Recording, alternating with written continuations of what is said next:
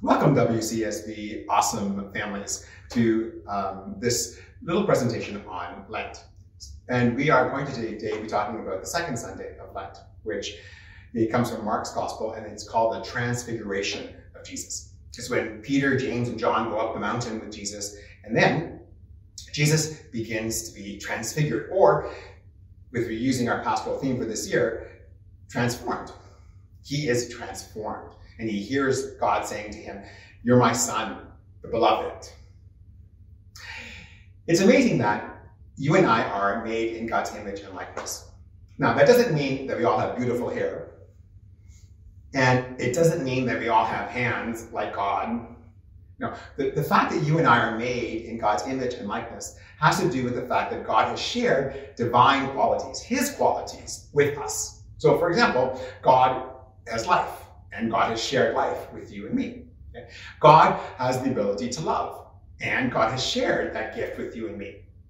But we find out in today's gospel reading that God has the ability to transform, transfigure, transform others. The Father transforms Jesus in this gospel reading. So too can you and I transform one another by what we say.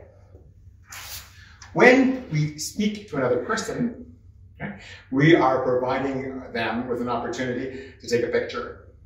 And the words that we say to others will either transform them or they will disform them, deform them. So it's really important for us to think about how do I use my gift of speech? My gift of speech that has the power to either transform someone or to deform someone.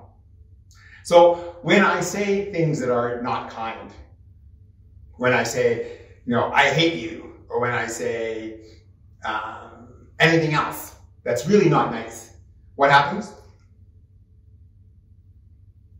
The other person shows us a frown because we've hurt them. But today's gospel reading invites us not to use our language in that way. But today's gospel reading invites us to use our language in a way that transfigures others, that transforms others. So when we say kind things to others, wow, you did that really well. That's an awesome painting. Wow, that jump was amazing. Wow, I'm really happy you're my friend.